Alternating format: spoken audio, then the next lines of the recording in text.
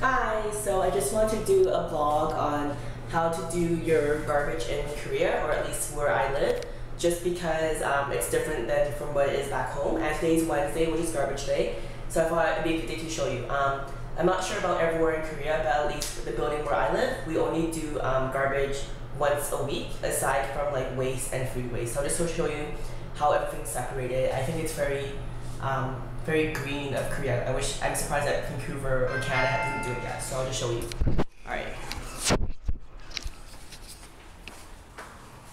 All right. So we just go outside here.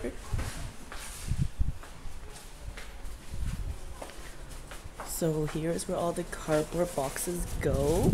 And if you walk out here, this is where you can do your daily waste.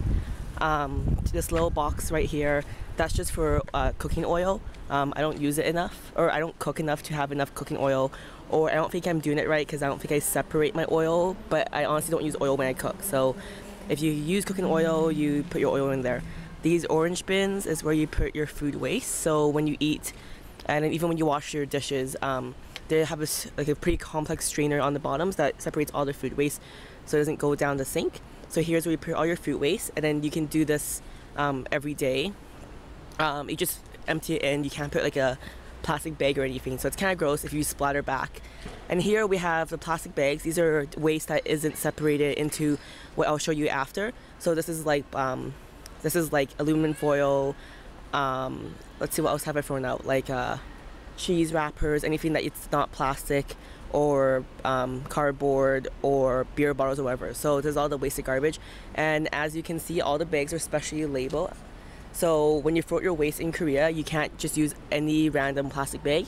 You have to use a plastic bag that's distinctly labeled for garbage disposal. So you can buy these plastic bags at the convenience store right there, or you can go to when you go shopping for groceries. Um, you can also when you buy bags for grocery shopping, you can also um, buy specific garbage bags. So just walk back in right now, and hopefully that guy's not there, or I'll look crazy talking to myself. So just walk back into my apartment. So here we have the mailboxes. I'm 2104, no mail. Um, so yeah, so here's all the garbage. This is what it looks like on Wednesday. It's kind of gross, kind of smells.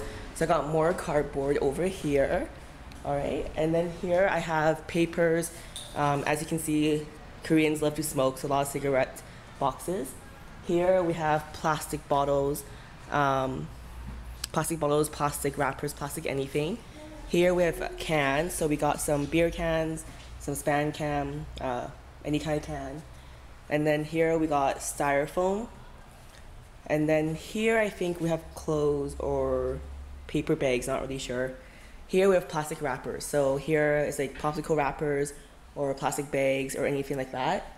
And then that's pretty much it. And then also uh, over here we got glass bottles. So that's pretty much how they recycle in Korea. I just wanted to show you and I'm just gonna go back up. All right, bye.